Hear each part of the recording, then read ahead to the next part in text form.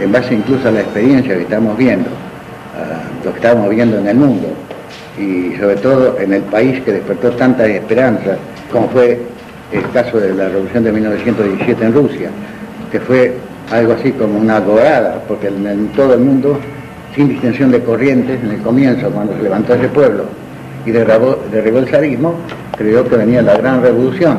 Entonces, este, cuando vino esa revolución rusa, lógicamente, los primeros años fueron de expectativa, no faltaron anarquistas que también se entusiasmaron con eh, la forma de, actuar y, sin embargo, el 99% de los anarquistas del mundo eh, en ese entonces este, tuvieron el testimonio de nada menos que de Pedro Kropotkin, que fue a Rusia y que produjo de su lugar de residencia, este, antes de su muerte, documentos valiosísimos.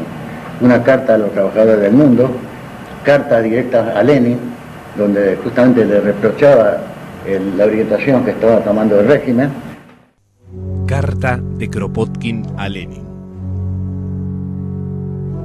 No puedo llegar a comprender, por más que me esfuerzo y por más voluntad que pongo en ello, cómo nadie de los que lo rodean a usted no le ha dicho todavía que las decisiones del género que usted está tomando evocan los oscuros tiempos de la Edad Media y los días de las cruzadas.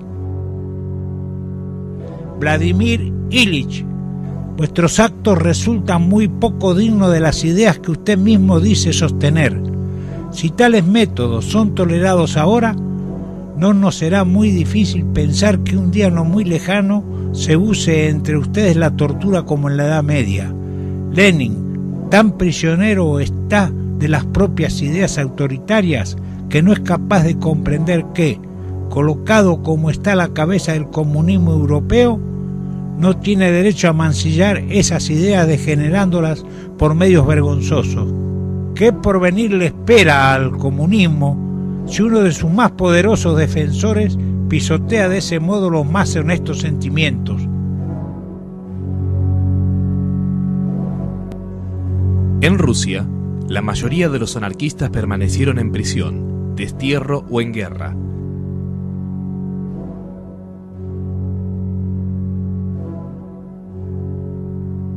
o levantándose en las fábricas de Petrogrado o en la comuna naval de Kronstadt, donde son fusilados por orden de Lenin y al mando de León Trotsky como jefe de la represión 30.000 anarquistas. La célebre anarquista lituana Emma Goldman, una de las líderes del movimiento anarquista en Estados Unidos, le dirá al periodista John Reed, están fusilando a todos los anarquistas. Los soviets no existen. El elemento moral de la transformación, de acuerdo con Kropotkin, estaba faltando en Rusia y sin él no habría cambio.